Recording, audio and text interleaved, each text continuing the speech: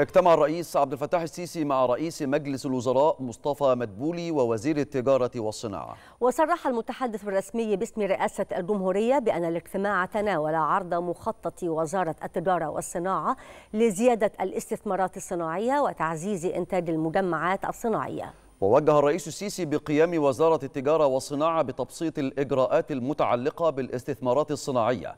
والتواصل المستمر والمنتظم مع مجتمع رجال الأعمال الوطنيين من ذوي الخبرة والإدارة المحوكمة والإنتاج المتميز للوقوف على التحديات التي تواجههم وسرعة توفير الحلول لتذليل أي عقبات في هذا الصدد. وذلك بهدف دعم قطاع الصناعة الوطنية وتعزيز الشراكة مع القطاع الخاص سعيا نحو شحذ طاقات الدولة في المجال الصناعي.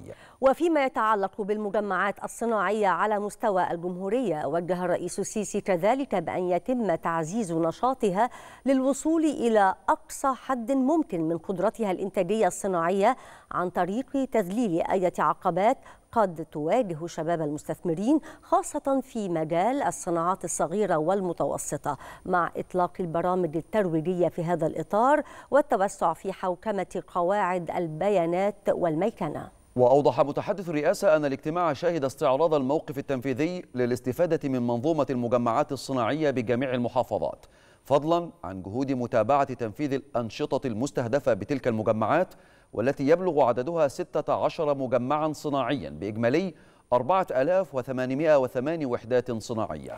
كما استعرض الاجتماع مقترحات لوزارة التجارة والصناعة ارتباطا بدعم الأنشطة الصناعية وتحفيز الصناعة على المستوى الوطني خاصة عن طريق تعزيز عمليات الاستثمار الصناعي بما ينعكس بصورة إيجابية على أداء القطاعات الصناعية والتغلب على أبرز العقبات التي تواجهها بالتنسيق مع مختلف الجهات المعنية خاصة ما يتعلق بإجراءات تحسين المناخ الاستثماري الصناعي.